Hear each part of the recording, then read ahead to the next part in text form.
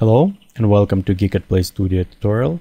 In this tutorial we continue looking on UV and Paint tab and we look primarily on the displacement brush tool.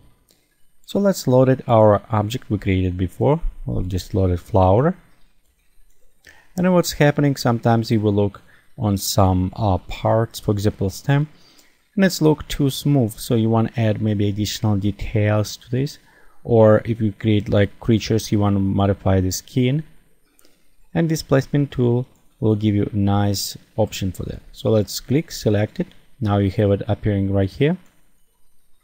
Be sure to select on displacement and you have this kind of brush appear.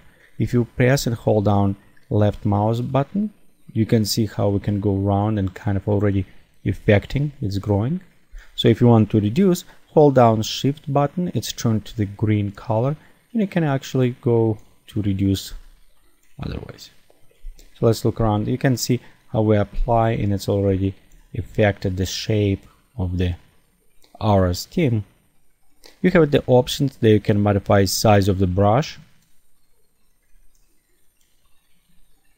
Also we can apply the string hardness and cutoff. Cutoff you can see two circles. This area ways will affect by cutoff other things also what we have it. Okay. One thing when you done this click validate. It will be applied to the form. Let's select middle. I want ungroup that object. I just want select center for now. And what's happening here if we click again um, displacement we can select bumps and what's happening with bumps you can create select different alpha mask just select this one for now. And you can notice when we apply we apply different bumps and texturing.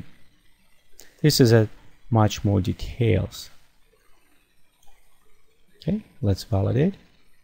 And you can see this is a bump we applied to our model. So to add much more details and depth into the model. Okay to save this one the bump map actually we need to go to inside our material for this. And we'll just select what size of texture you want to save. Okay also size of the bump map. And when we actually what's happening when we going go ahead and save the object as export. Okay just save be sure you have it check the texture exporting and it will be saving as well the our maps for our textures Oops.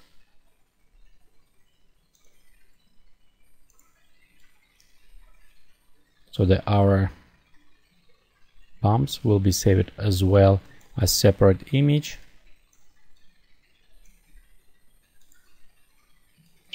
so you can reapply after to your models.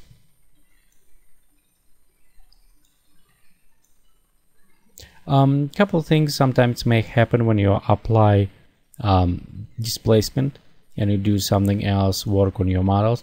Your displacement may be reset so just be sure you save it or best practice is using displacement and bump map as a last step in when you're creating the models. Okay okay so let's just reset very fast. To create. A little bit better color adjustment on this one. And here is our flower with the texture apply colors and uh, we can also do similar for the stamp